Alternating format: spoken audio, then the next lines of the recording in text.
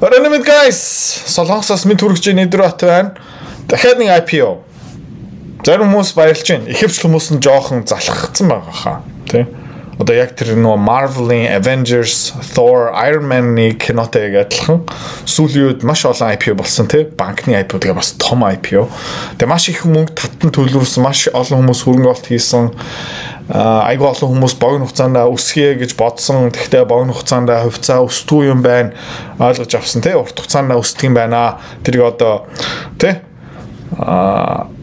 маш хэцүү сурамжуудад авж जैन тэгснэ одоо Mon Logistics-ийн IPO араас нэрж байна. Тэгээ би таад яг адилхан маш олон IPO болсон. Тэ? Тэгээ энийг ерөнхийдөө нэг сонирхоогүй гэх юм бол тийм амар тэргүүлэгч компани муу юм уу? биш юм уу те. Тэгээд энэ контейнерийн тээвэр тээвэр логистикийн үйлчлэгийг авдаг компаниуд бас цөөхөн одоо худалдаа тийм импорт янз бүрийн компаниуд тэд нартай ингээд харьцдаг. Гэхдээ өдөр болгоны одоо тийм харьцдаг компани ерөөсөө биш тий. Тэгээд ерөөхдөө энийг алгасчихъя гэж бодсон юм тий. Гэхдээ яг одоо солонгос дүнгэж сая зоч буудлага ороод юмаа буулгаж чадсан онгосноосоо буугаад жоохон ядарсан байсан. Тэгснэ утсаа асаагаад Wi-Fi-тай болсон чинь баах мессеж ирсэн Mon Logistics app авах уугүй юу гэл. Тэгэл би өнөөдөр та энэ видеог хийж байна. За энийг энэ IPO-г тэгээд Mandel Capital Markets тэгээд Investcore Capital гаргаж байгаа. Тэгээд мэдээж та нар энэ хоёр компаниараа дамжуулаад энэ IPO-г авахгүй үстэй тий. Apex-ээр дамжуулаад аавн үстэй сонирх юм бол тий. За тэгээд би хоёр видео хийхээр шийдсэн. Энэ үнэт цаасны танилцуулга нь юу ч гэсэн сая уншицсан. Нилээн урт тий одоо харж байгаа юм бол одоо хэдэн хугацтай юм бэ тий. Амар олон хугацтай документ. Сая уншаад дууссан одоо тий 100000 хугацтай хугацтай ингээд дуусахгүй юм.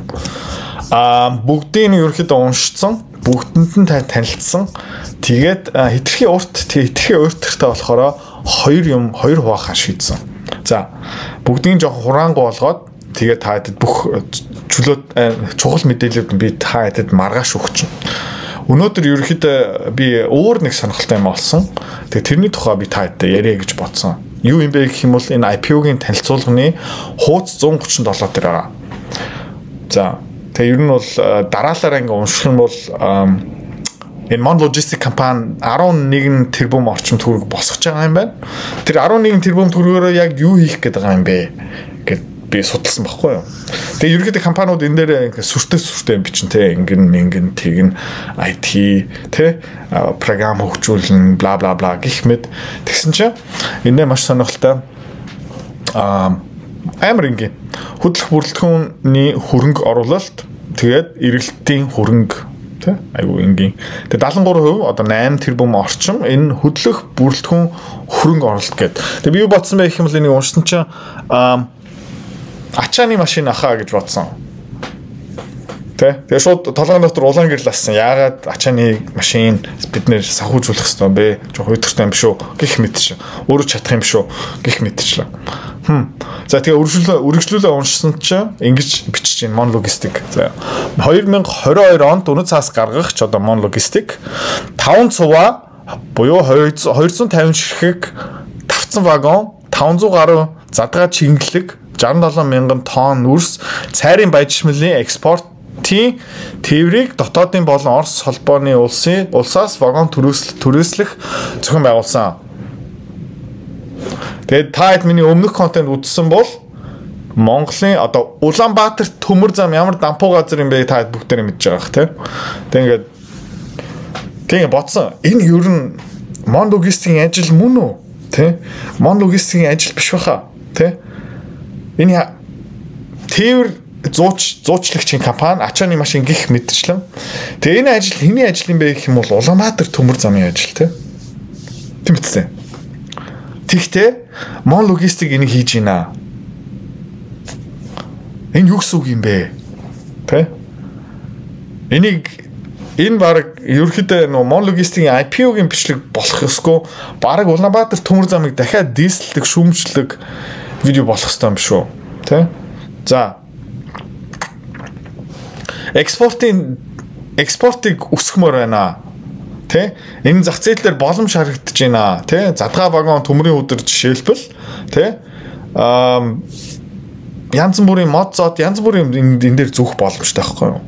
Тэг энийг ерөнхийдөө Улаанбаатар төмөр зам яагаад хийхгүй байгаа юм бэ? Гайхалтай байгаа зү тэ. Хувийн компани хийж штэ. Тэ? Сонирхолтой. За Тэгээ 100 ширхгийг вагон худалдаж авах юм байна. Нэг ширхэг нь 53 мянган доллар. За татвар дээр нэмэгдэх юм байна. Ийм юм дээр ерөөхдөө гайл татвар авах ёстой юм уу? Бас гайхаж байна заяо. Тэ? Яг гэх юм бол Монгол улсын экспортыг дэмжих юм чинь татварнаас чөлөөлж болох юм уу? Тэ? Одоо энэ дээрээ бас манай төр засгийн тэнэг тэр юм шууд ингээ харагдаж байгаа хгүй юу. За тэгээ 23 тэрбум төгрөгөөр энийг авах юм байна. Тэ?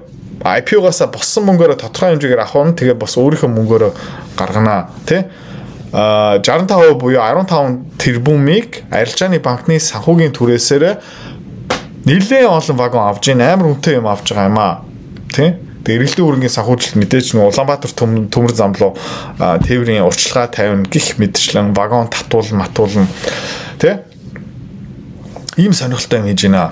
За энэ хүртэл би ерөөхдөө жоохон уйдцсан байсан яг үнэн хэлэхэд тий. За логистикийн компани, за гайгүй ашигтай юм байна. За хоёр компани IPO-гийн гаргаж байгаа юм байна. За 11 тэрбум татан төлөвлөх гэдэг юм байна гих мэт шин.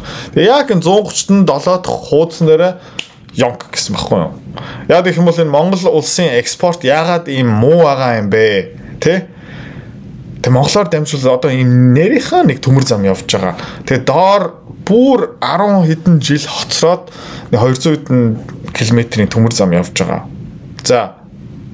Тэ? Тэгээд тэгээ мон логистик жоохон баяр хүргмээр байна. Тэгээ магтсан ч одоо хаашаа тий. Жоохон баяр хүргмээр байна. Яагаад гэх юм бол энэ Монгол төрийн өмчт компани Улаанбаатар төмөр зам тий. Яг юм Орос Оросуудаа хамтарсан. Бүтэхгүй байгаа ч тий. Тийм учраас эдгээр энийг хийж байгаа. Ум ум жилийн өмнө баг энийг туршсан байна. За амжилттай болсон учраас баг энийг хийж байгаа хаа. За тэгээд нэлээд их мөнгө ийшээ хайж байгаа юм байна. Тэгээд сонирхолтой төсөл. Тэ энэ энэ энэ асан чи аа окей. Толгойн дотор нь ач холбогдол нь ингээд шууд ингээд гэрэл асаад аа гэд момент надад ирсэн. За тэгээ энэс хойш ерөнхийдөө санхүүгийн үзүүлэлтүүд дахиад харчи судлаа а санхүүгийн төсөөлөл нь ямар шүү юм бэ? А тэгээд энэ янз бүрийн төмрийн хөтөр нүүрс мод зод транзит тээвэр ерөөхдөө олон улсын хашаар ерөөхдөө хийгдэх боломжтой. Одоо долларын орлоготой компани. Хэлэх нь яг үнэн. Үнэн бол үнэн. 100% доллар биш. Гэхдээ тодорхой хэмжээгээр доллар бол мөн. Тийм учраас төг төрийн орлого инфляц одоо Apple CEO янз бүрийн тиймэрхүү худалдааны компаниудын одоо үйл ажиллагаад дарамт болж байгаа төрийн ханш маань тэднэрт энэ компани жоохон хамаагүй биш. За тэгээд та ч гэсэн энээс болж жоохон сонирхлын жоохон сэргээж чадсан бол маргаашийн видеон дээр бүр яг гоё нэрийн шинжилгээ үнэлгээг гаргах чи би өөрөө үнэлгээг нээчи яагаад вэ гэх юм бол тий одоо зүгээр яг үнэ хэлэхэд энэ IPO хийж байгаа компани тий энэ үнэлгээг төлж байгаа штэ тий төлбөртэй энэ үнэлгээ хийгдэж байгаа. Тийм учраас тий эзнийхээ гарыг нохоо хацсгүй штэ Тийм учраас энэ үнэлгийг маргааш хийчээ. Тэгээд яг хоо ийм сонирхолтой юм байсан бүгдийг уншицсан маргааш бүгдийг хуваачээ. Урт видео болно. Тийм учраас жоохон цаг завтай маргааш ирээрээ. Тэгээд сонирхолтой юм байлаа. Тэгээ хамгийн сонирхолтой нь би та хэд одоо хэлчлээ. За тэгээд жигнэсээ энэ компани Монгол улсын хувьд тий стратегийн хувьд ийм чухал юм хийж байгаа маш их хэмжээний хөрөнгө олт хийж байна Тэгээ энэ ерөөхдөө амжилттай болох магадлал хэр өндөртэй юм бэ? Тэгээ амжилттай болоод ирэх юм бол энэ компани хэр ашигтай болох юм бэ? Тэгээд хамгийн сүүлд нь ийм ашигтай болоод ирэх юм бол энэ хувьцааг би авах ёстой юм уу? Авахгүй авах ёсгүй юм уу? Тэгээ авах юм бол миний багц дотор хэдийн хэмжээгээр байх ёстой юм бэ? За, маргааш уулзъя.